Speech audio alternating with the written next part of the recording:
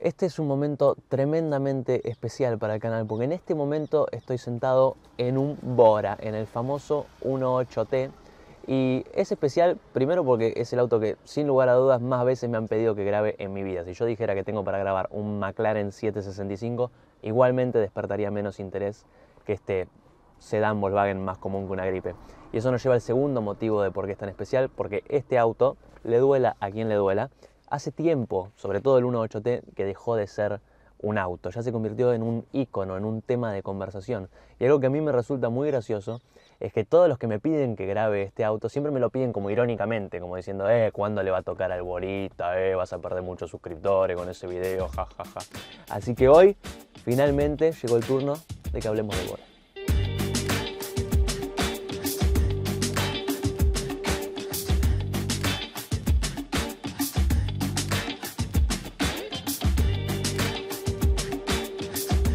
Bueno, para organizarnos esto lo vamos a hacer en dos partes. Una parte, la primera, explicando o hablando, mejor dicho, sobre el auto en sí. Esta parte va a ser la más corta porque es un auto que ya todo el mundo lo conoce. Seguramente vos que estás viendo este video ya sabes todo lo que yo te voy a contar de este auto, ya no, nada te parezca nuevo.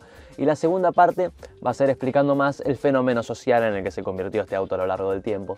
Y vamos a comenzar con la primera parte, que como dije, no, no esperen escuchar nada nuevo. Y antes de decir nada, quiero comenzar diciendo que este es un auto, bajo todos los puntos de vista posibles, decente.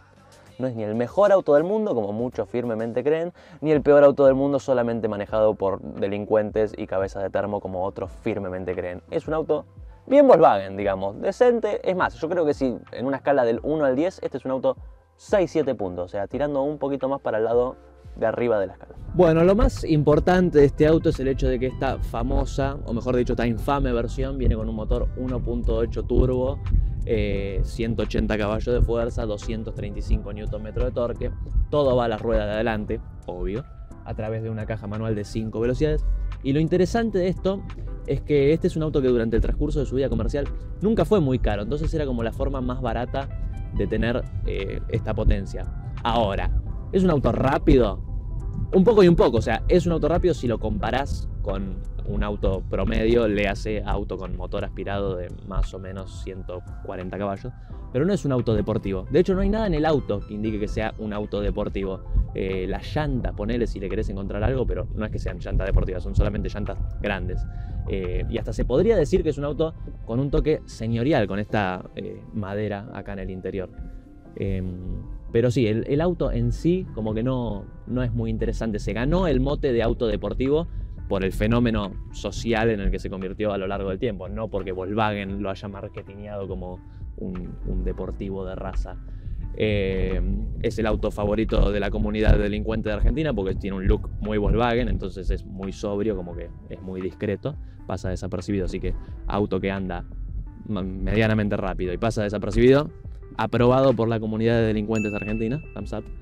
Y en cuanto a diseño, eh, está la gente que prefiere el Bora de primera generación, eh, está la gente que prefiere este. A mí me gusta más el de primera generación porque creo que envejeció mejor. De hecho, esta segunda generación, este Bora 4.5, digamos, en México donde se fabrica, en el último tiempo se llamó eh, clásico. Y cuando ya te ponen de nombre clásico, lo que te están tratando de decir eh, amablemente es antiguo. Es un look que para mí envejeció peor que el del primero. Pero no podría decir que es un auto feo. Sería injusto decir que es feo porque sencillamente no lo es. Es bien Volkswagen. Cero riesgos, diseñado para vendérselo a la mayor cantidad de gente posible. Eh, y, en todo es así, como estamos acostumbrados de, de Volkswagen. Acababa de pasar alguien en rojo, muy mal, no pasen semáforos en rojo. Eh, tiene el equipamiento es decente, este tiene butaca calefaccionada, buen punto, pero como dije, no es un auto como auto muy interesante. Y de hecho las cosas malas que yo puedo decir de este auto vienen un poco del hecho de que es un invento para nosotros, para los mercados emergentes, digo, cuando digo nosotros. Y eso me da el pie justo para que nos metamos en el motivo por el cual ustedes están viendo este video porque quieren ver el mundo arder sencillamente, y es que hablemos del fenómeno social en el que se convirtió el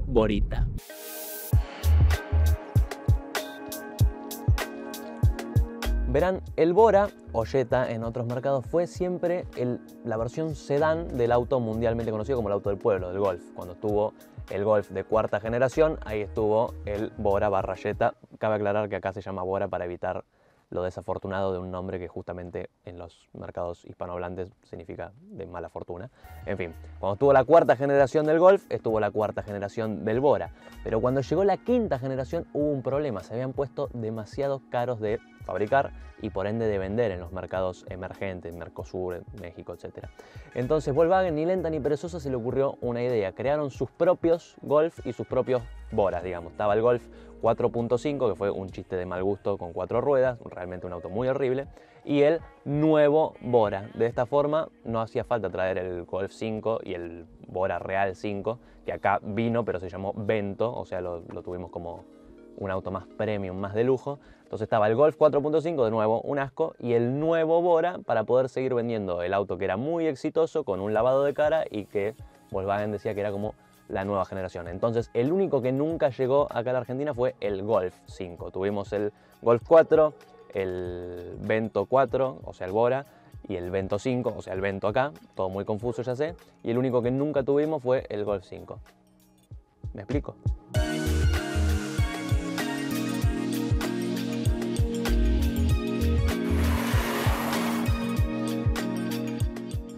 Todo muy confuso, pero en definitiva fue un golazo para Volkswagen, porque podían seguir vendiendo lo que esencialmente era el Bora de siempre, e incluso lo podían vender a precios más baratos, porque como había pasado tiempo, con el pasar del tiempo el auto se te pone cada vez más barato de producir, e incluso más, porque le habían sacado cosas, lo habían abaratado, boludeces como la luz de la guantera, ese tipo de cosas con lo que las marcas les encanta pijotear.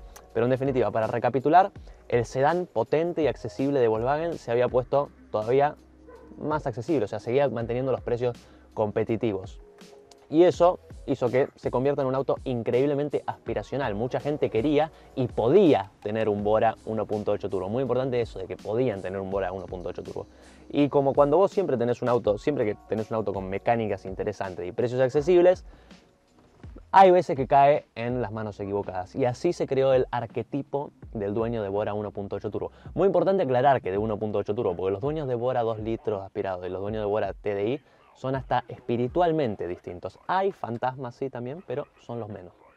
Bueno, ahora me puse full Bora Boy. Lo menos Bora Boy que estoy haciendo en este momento es tener puesto el cinturón de seguridad, totalmente anti Bora Boy. Y me vine naturalmente a la plaza más cercana a dar 400 vueltas manzana, dando eh, lo más rápido posible de esquina a esquina. Con la cantora al palo. La cantora, para los que no hablan Pokémon, es ese audio que le ponen en el baúl que te roba todo el espacio de baúl y se escucha horrible. Bueno, eso es la cantora. No, pero honestamente voy a volver a ser un ser humano decente. Me voy a poner el respaldo como lo usa una persona con espalda, básicamente. Eh, hubo mucha gente que estaba increíblemente orgullosa de tener este auto y eso no tiene nada de malo. El problema fue que empezaron a hacer y decir cosas que son sencillamente de fantasma. Por ejemplo, eh, estaba el tema de un chiste muy recurrente con los Bora, es el tema de la T roja, porque muchos eh, dueños de Bora le cambian la T de la tapa de baúl por una roja para agregarle deportividad al auto. Sí, sí, así como lo escucharon. Y igual lo más gracioso de las, letras de Bora son los que le cambian Bora por Borita. Seguramente vieron alguno de esos una vez. Sensacional. Eh, después estaba el hecho de que como este era un auto que estaba bastante bien equipado y bastante bien fabricado para su segmento, empezó el mito de alta gama alemán. Todo sobre ese concepto está mal. Esto no es ni alta gama ni es alemán, es gama media y tan mexicano como Canelo Álvarez. Que de nuevo, no tiene ningún problema ser gama media y mexicano, pero es de fantasma decir que es alta gama alemán cuando no lo es. Y después estaba el estilo de manejo del Bora Boy, que recuerden que este es un auto que con no mucha plata se lo puede hacer llegar a unos confiables 240, 250 caballos. Eh, así que no es raro encontrar eh, Bora Boys en las autopistas zigzagueando, pegándose a 10 centímetros del, del auto que esté adelante o eh, aterrorizando un barrio residencial un domingo a las 4 de la tarde con su escape El Pájaro totalmente antisocial. Todas características que convirtieron a este auto en un auto indeseable para la gente común.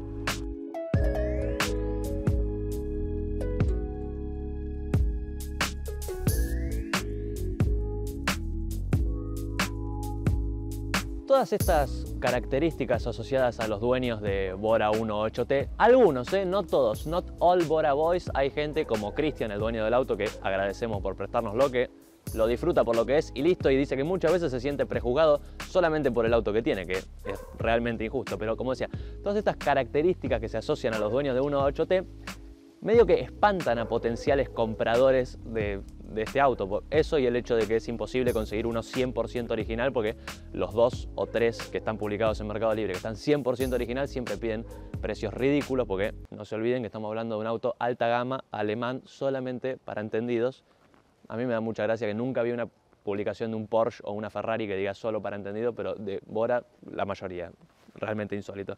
Vos y yo seguramente nunca tendríamos uno de estos autos por el estigma social que tienen y como dije ya por millonésima vez, de un auto que es más que decente, o sea, está más que bien. Es un sedán Volkswagen al que con muy pocas modificaciones se lo puede hacer andar realmente muy rápido en línea recta, pero no mucho más que eso y es por eso que como que no logra eclipsar el estigma negativo que hay socialmente. Por eso vos y posiblemente yo nunca tendríamos este auto porque eh, es socialmente comprometido. Pero bueno, como dije ya por millonésima vez, es un auto mucho más que decente. Así que les, les dejo esa, esa, pregunta para que me dejen en los comentarios. ¿Ustedes tendrían un Bora?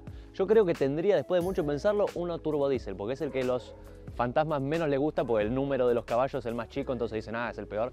Así que yo, en el peor de los casos, tendría un turbo diesel. De nuevo, le agradecemos a Cristian por prestarnos el auto y los invitamos a que le peguen una mirada a su emprendimiento de detailing. Qué bárbaro, che, cómo mis seguidores tienen emprendimiento de detailing. La verdad, estamos moviendo el país para adelante, no irónicamente. Y como siempre, los espero en algún próximo video. Peace.